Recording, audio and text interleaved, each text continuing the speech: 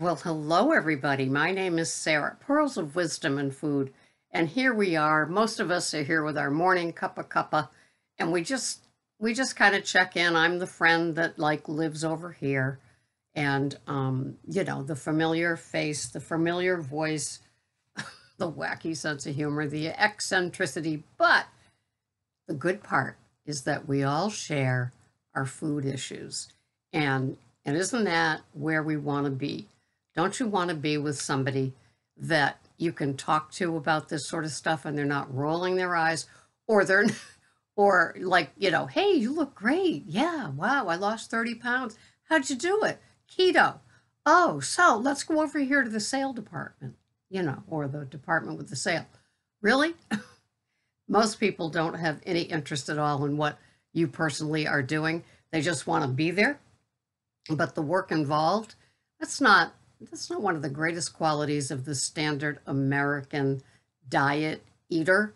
They don't really have the gumption to go with it. They're much, you know, they probably have 15 keto products at their house, like the Slim Fast stuff or other things that you see on your Facebook feed. Take this pill and you'll lose 75% of your abdominal belly overnight. I don't I don't I don't think so. But we don't have to exercise necessarily either. So sometimes it's not a bad thing. Um, I know that I love my mostly carnivore lifestyle and um, I'm busy, but I'm no longer an active walker or exerciser. I've tried.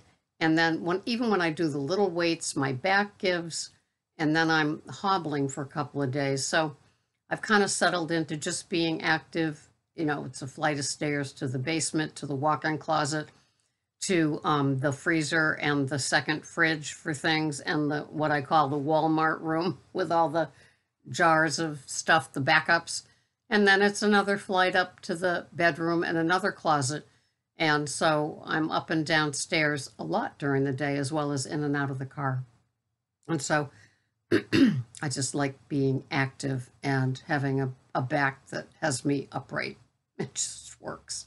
So, um, yeah, we really don't get too involved with others that aren't practicing what we do that give us more of a hard time than a, you know, validation or confirmation that we're doing the right thing. And sometimes that makes friendships take a ding or two. Um, and it might even be hard if you're living with people that don't do what you do, but they have a, you know, they have an opinion on it, even though they've never tried it. Hmm, Oh, we'll pause while they go take their meds. Sorry. anyway, look at this is my turtle. Miss Joyce gave me this turtle a couple of years ago. And uh, I love my turtle, and I couldn't find it. And when we did the interview with June and Tracy, they had on their um, turtle earrings. So I knew this was someplace. It's on a black camel hair coat that I wear in the winter, but I just had to put it on this hacking jacket because it seemed to just fit. So if you're a turtle, then you accept that you've got an older metabolism, that maybe you are older as well, and that things are going to go just the way they're going to go. And you can push and try and whine and pout and change your food plan 15 times to Sunday. But if you're a turtle, it's going to do what it's going to do. And that that's fine with me. I like that because I love my food. You know, I've I um double or tripled my protein intake um, maybe a year ago. And, um, you know, I was going by what the Cronometer said, which was what, 35 to 40 grams of protein. And it's like I began to, I don't know if I found them or if they found me um, watching YouTube videos where protein for women, especially women that are, are older and aging, is much more important. And then the whole thing about chewing, um, you know, uh, most people stop having like steaks and stuff. Maybe women never even got into steaks. They were too busy with their salads and yogurts um, and smoothies, and their teeth aren't as strong as they used to be. So they can't like suddenly start eating a, a steak. Maybe they could have ground ground beef or something like that. But having having steak keeps our our teeth strong because we're chewing and you know, the jaws and the teeth like that. And, um, you know, protein feeds bones. So we, we can't forget that our teeth are bones as well. I have osteoarthritis. I just recently found out. It took a couple of years to get here. I thought, I mean, I did have a Baker cyst, and then I thought I had another Baker cyst, but really it's just aging. It's in a weird part of my calf. Um, and so it uh, it hurts. It's weather related too, I think. But um, I I do know that you know I have good days and bad days.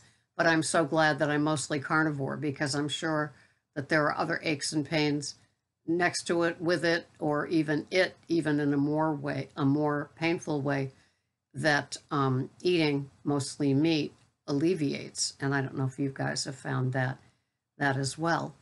But um, yeah, so you know, we we we get good with our our dialogues, and we don't take it personally when nobody really gives us sweet about what it is that we're eating or how we've lost our weight.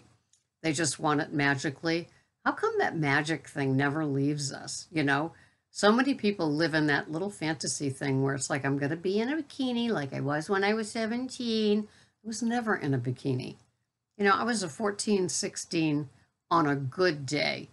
So even I had great legs for, for some reason, um, no cellulite or anything like that. So in the mini skirt era, I did well, even though above I was like this husky person with great legs. Um, but when they went, they went. And so then losing, you know, the 40 or 50 pounds that I've lost from my heaviest as a grown, you know, an older, a young woman, but grown to now, um, you know, now I've got that, that skin thing on the upper arms and the thighs. So, um, yeah, it's not pretty. And then from from the elbow down, I've got that old lady, you know, folds of skin on my forearm that aren't pretty either. So I'm pretty much usually dressed from elbow to ankle, and and it works. I look good in clothes. That that's how it is. I don't have this fantasy that you know I'll be running down the beach and nothing. The only thing that jiggles is my arse just a little bit. It's not going to happen. So, fantasy thinking is something that a lot of us glom onto. And then some of us, you know, get real right out of the gate, which is probably the healthiest thing for you to do mentally and physically. Think about just being happy where you are. Suddenly you're sleeping better. Suddenly, you know, your blood pressure medicine has has either been reduced or or taken away. The doctor's not saying pre-diabetic anymore. Um, you know, you, you find that um, the, the bloating is gone on your belly after having that great big A salad like I used to have. I must have been just a, a rolling ball of bloat, even after, you know, turning to low carb, high fat keto, because I was having these huge salads every day. And then my body said, You know what? We don't like you having all that lettuce. And it's like, Really? So then I cut down, cut down, cut down. And I went from like 175 grams of lettuces down to like 30 of baby butter. It was the least harsh on my belly. Spinach and kale attacked me. And um and so anyway, you know, when they talk about the anti-nutrients in the vegetables or how they fight back, they don't want to be eaten. They aren't kidding because when my body told me it was over. It was over. Now my body handles a wee bit of Brussels sprouts on Sunday. And um, it's only because they taste so darn good. Um, and I know how much I can have without having a reaction.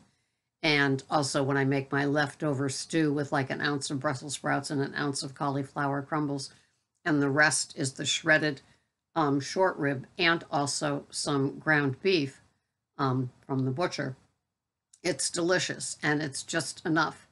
Um, you know, sometimes I do miss the veg. At the end of my vegetable life, it was cauliflower, asparagus, and Brussels sprouts from the big green egg on Sunday.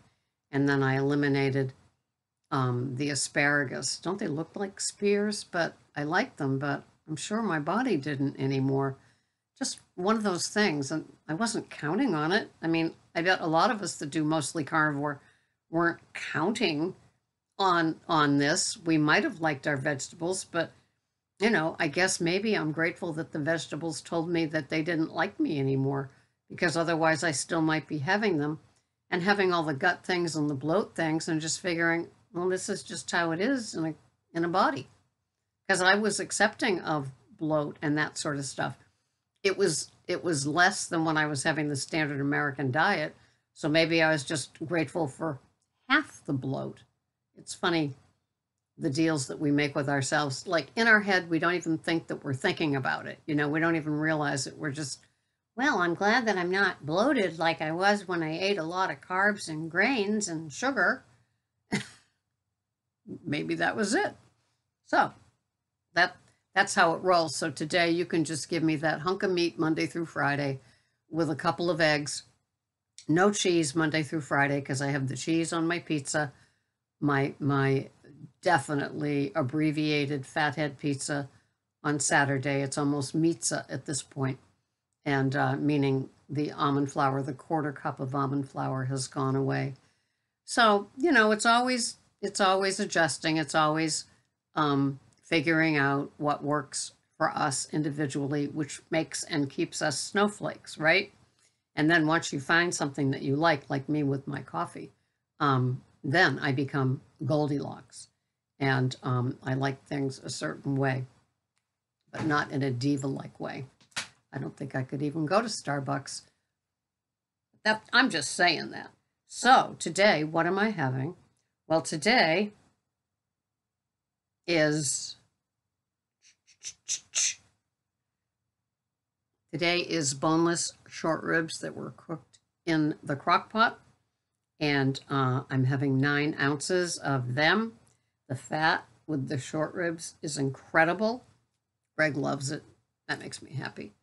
So these are my macros for the day. My, car- my calories are 1,166 calories. My protein is 96 grams. I like that. My total carbs are 1.4, and my fats are 87 grams.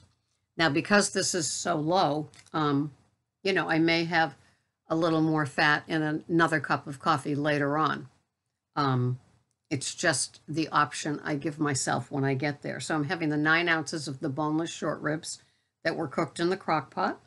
I am having 14 grams of lemon juice, fresh lemon squeezed on my electrolyte powder, which is buck bulk supplements, um, magnesium and potassium. I am having, I had 14 grams of uh, ghee, organic valley ghee, in my in my cuppa. In fact, I'm still working on that now. Um, two tablespoons of butter. I um, count to put on the um, to put on the beef and to scramble the eggs. I am having whoops, and I'm having three large um, organic eggs from Market Basket, their brand, um, cage free, all that kind of stuff. And so it's the 1166 calories. And to me, that is a totally satiating meal. I understand that the fat is, for me, the fat and the protein carries me from the meal that I'll have today by three o'clock, because I work tonight, um, all the way through to the meal I have tomorrow, which is going to be that round at the butcher beef um, hamburger. Oh, yeah. so I am always delighted with my food. I never get tired of it. Um, I'm not having something to eat that I should have because it's good for me. I, um, you know, I, I'm eating like a six-year-old and loving every minute of it. I have had chicken livers on occasion, um, as far as the organ meats go, and um, I had them with bacon and they were sautéed in butter. I would certainly do it again. It would be like a four-ounce deal, and um, and it works. I like that. Um, I don't mind them, but I'd have to have beef with it too because I need the holding power that beef has. I've tried it with pork. Pork doesn't have the holding power, even fatty cuts. Um, it's okay, but it's not as holding for me as beef. What can I say? I'm a beef girl. So thank you so much for watching. I hope that uh, you're taking care of yourself and you have delightful, easygoing types of days where you're not pushed and pulled. Nobody's rolling their eyes at you. You enjoy your foods, they hold you, you're not clock watching, you're not bloated. You are just delighted that you found your keto, your carnivore, your carnivish lifestyle, and um, not ready to go back to anything else. Thanks so much for watching. I appreciate you being here. This has been Sarah, Pearls of Wisdom and Food with Keto, Carnivore, and Carnivish. Enjoy your coffee. Bye bye for now.